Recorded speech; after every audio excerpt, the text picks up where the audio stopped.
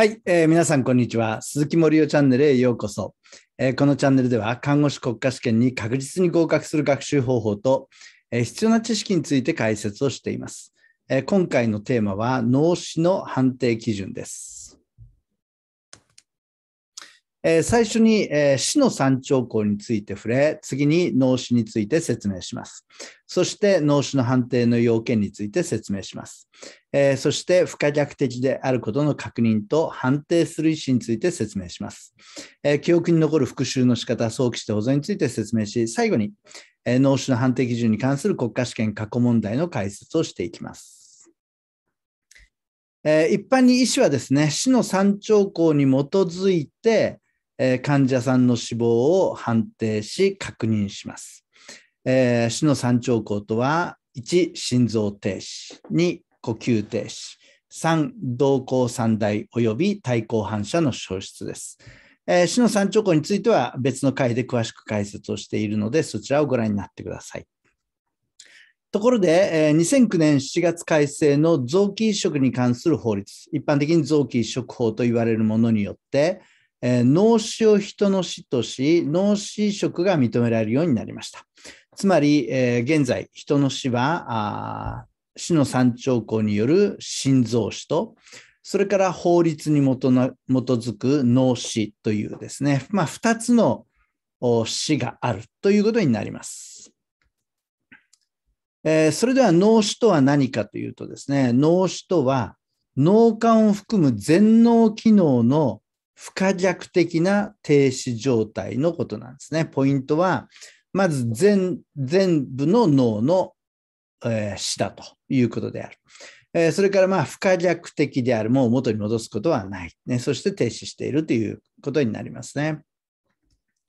さあ、その脳死の判定の要件です。えー、5つありますので覚えておきましょう。1、心昏睡。2、瞳孔三大。3、す、べ、ての脳幹反射の消失。4、平坦脳波。5、自発呼吸の停止。えー、先ほどの死の三兆候と比べたときにですね、えー、呼吸停止と、それから瞳孔三大の2つはですね、脳死判定の要件の中にも入っていますけれども、えー、心臓停止、ね、心停止は脳死判定の要件には入っていませんよね。えー、まあ当然のことですね、これが一つのポイントになりますよね。さあ、それでは一つ一つ細かく見ていきましょう。まず一つは新昏睡ですけれども、えー、日本昏睡尺度、えー、JCS でですね、えー、3の300ですよね。説明できますか？で、えー、これは疼痛刺激があってもですね、患者さんは全く反応しないというね、えー、それが3の300でした。じゃあこれをグラスゴーコーマスケール GCS の方で見てみると、えー、これは最低点の3点になりますよね。えー、疼痛刺激を与えても全く、ね、海岸さえしないということで、えー、1点。ねえー、発語に関しては全くない。これも1点。ね、運動に関しては全く反応しない。これも1点ということですよね。でところでですね、この新昏睡と診断される、なくなってしまう除外項目に、えー、まあ、自発運動がある場合、除脳硬直や除皮質硬直、痙攣があればですね、えー、これは新昏睡からは除外されます。えー、まああ、ね、脳のどっかから活動電源が出てなければこういったことが起こらないということになるわけですよね。はい、えー、2つ目が瞳孔三大でした。ねえー、これはもう瞳孔は三大していて、えー、その瞳孔径は左右とも4ミリ以上で、そしてもう固定されていて、ピクリとも動かないということになります。はい、えー、脳幹反射の消失ですけれども、これから説明する7つすべてがですね、消失しています。えー、1つ目が対抗反射、ね。光を当てても縮動はしません。えー、2つ目が角膜反射。ね、角膜を例えば綿棒のようなもので刺激しても瞬きしません。えー、毛様脊髄反射、えー、顔面に痛みを与えても、ね、瞳孔が散大するということはありません。えー、眼球頭反射、え顔を左右に振っても眼球は全く動きません。え前提反射、耳の中に冷たい水を入れても目は動きません。え咽頭反射、咽頭を刺激しても吐き出すような反動はありません。え赤反射、気管内チューブにカテーテルを入れても咳き込むということはありません。えー、この7つの反射すべてが消失しているというのが脳幹反射の消失という条件を満たすことになります。さあ次が平坦脳波ですよね。えー、最低4箇所の誘導で、えー、30分以上連続して記録してもですね、え、脳波が全く検出されません。脳波というのは、まあ、脳のどっかの、ね、細胞が活動電位を出すことですから、まあ、全能的にそれはないということになるわけです。次に今度は自発呼吸の消失です。これは人工呼吸器をね、外さなければ確認できませんよね。そして人工呼吸器外して行うことを無呼吸テストと言います。これは人工呼吸器外して一定時間観察して、自発呼吸がないことを確認する試験です。